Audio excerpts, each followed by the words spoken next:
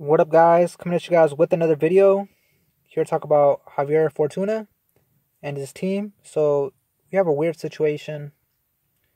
The rifle champ, Devin Haney, has been reinstated as WBC champion at 135. Now, Haney wants to face Fortuna in his uh, next fight, which that fight was supposed to happen before the injury.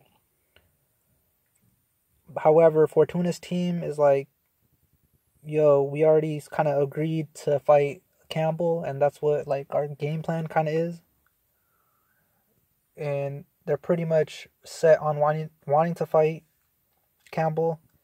So pretty much this team was like, look, why don't Javier Fortuna and Campbell we fight for the interim belt, and then winner automatically, you know, they have to sign within 90 days or agree that they must face Devin Haney or the winner of David Devin Haney and uh, a contender or like a tune-up fight. If it's okay with the WBC, they're like, look, Campbell and Fortuna fight, Haney and uh, a tune-up or contender, someone fight, and then the winners uh cross paths. Which it's like, damn. I don't. I mean, I don't know how to feel about it to be honest, because it's like I was really looking forward to Fortuna Haney. That would have been a good fight.